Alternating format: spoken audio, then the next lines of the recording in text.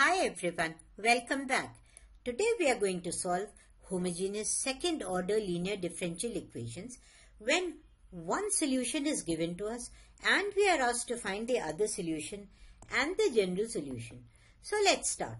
What if y1x and y2x are any two linearly independent solutions of a given homogeneous differential equation y2 dash plus pxy dash plus qxy is equal to 0. The question is, if one solution y1x is known to us, can we find the other solution y2x? Yes, we can. For that, we assume y2x is equal to vx times y1x, where vx is a function of x. Remember, guys, vx is not a constant. We've not taken a constant here. Why? because the moment Vx is a constant, y2 and y1 will become dependent on each other. Then we use the formula Vx is equal to integral 1 upon y1 square e to the power minus px dx. y1 would be given to us. p we'll find from the differential equation. So using this formula we can find v. Once we know v, we can find y2. Let's do some examples. In the first example, we are asked to find y2 and the general solution of y2 dash minus y is equal to 0. We are given y1 is equal to e to the power x. Now, our differential equation has no y dash term, which means px is 0. We start by y2 is equal to vx y1. You know y1 is e to the power x. Now we need to find vx. For that we come to the formula Vx is equal to integral 1 upon y1 square e to the power minus px dx. Substitute y1 and p and integrate. We'll get Vx as minus e to the power minus 2x upon 2. As y2 was Vx e to the power x, substitute v value, we get y2 as minus e to the power minus x upon 2 as you know, general solution is y is equal to c1 y1 plus c2 y2. Substitute y1 which was known to us, y2 you've just found. You will get y is equal to c1 e to the power x minus c2 e to the power minus x upon 2. Now you can leave it as this, but if you want a compact form, you can take minus c2 upon 2 as some other constant c3 and then y will become c1 e to the power x plus c3 e to the power minus x. So we have found the second solution y2 given y1 and we've also found the general solution. Come to the second example. Here we are asked to verify that y1 is equal to x square is one solution of x square y2 dashes plus xy dash minus 4y is equal to 0. We are asked to find y2 and then the general solution. Now, to verify that y1 is a solution, we'll first find its derivatives. Y1 dash and y2 dashes. y1 dash is 2x, y1 2 dashes is 2. Substitute y1, y1 dash, y1 2 dashes in your given differential equation in the left hand side. You will see all the terms cancel and you get a 0, which tells us that y1 is equal to x square is one of the solutions. Now to find y2 we need to find vx. Let's first write our differential equation in the form y2 dash plus pxy dash plus qxy is equal to 0. You remember in the standard form, the coefficient of y2 dashes should be 1. So for that, we need to divide the whole differential equation by x square. Now when you do that, you see that your px comes out to be 1 by x. Substitute y1 as x square in the formula, p as 1 by x, integrate, you will get vx as minus x to the power minus 4 upon 4. y2 becomes vx into y1 which was x square. When you substitute vx, you get y2 as minus x to the power minus 2 by 4.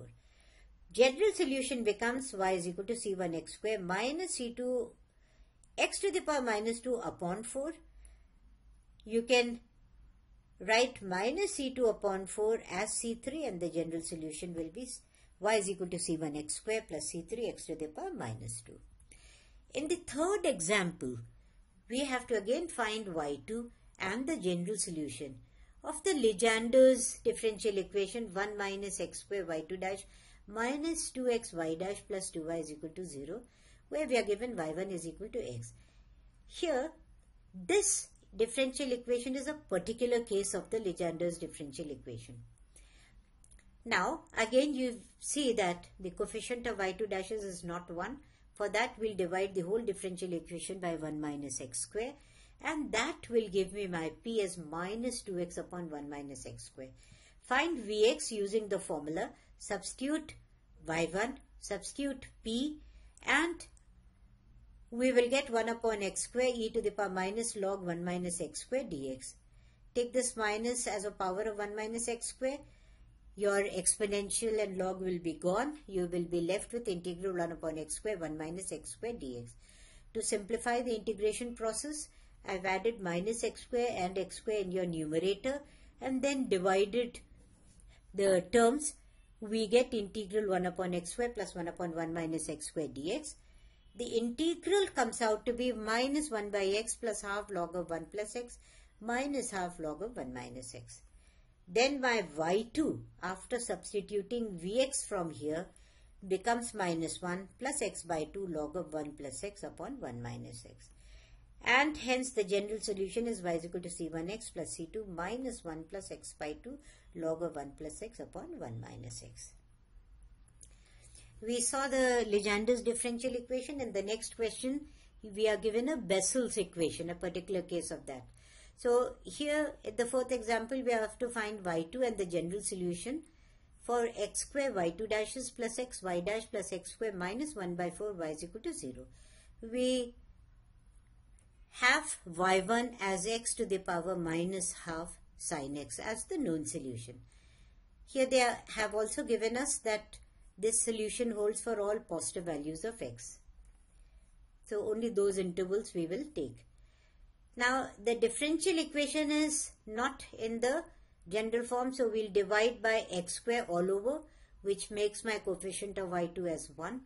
px becomes 1 by x Use the formula for Vx, substitute y1, p, after integration we get v as minus cot x, y2 will be vx y1, we've substituted y1 here, and after substituting vx we get y2 as minus x to the power minus half cos x. So we have found y2. Now the general solution is y is equal to c1 x to the power minus half sin x minus c2x to the power minus half cos x. You can leave it as it is or you can take minus c2 as c3 and write the general solution as this. In the last example, we have to again find y2 and the general solution of y2 dash minus x upon x minus 1 y dash plus 1 upon x minus y is equal to 0 given y1 is equal to x. So here already differential equation is in the standard form we will find Vx using the formula substitute y1 is equal to x and p is equal to minus x upon x minus 1. We will add and subtract 1 in the numerator to simplify the integration and this will give us Vx as e to the power x upon x. Substitute Vx in y2. This gives us y2 is e to the power x. So the solution becomes y is equal to c1x plus c2 e to the power x. Thank you for watching. We will be doing homogeneous differential equations of second order with constant coefficients in our next video. For all other courses, you can check my website www.profpritibajpai.com.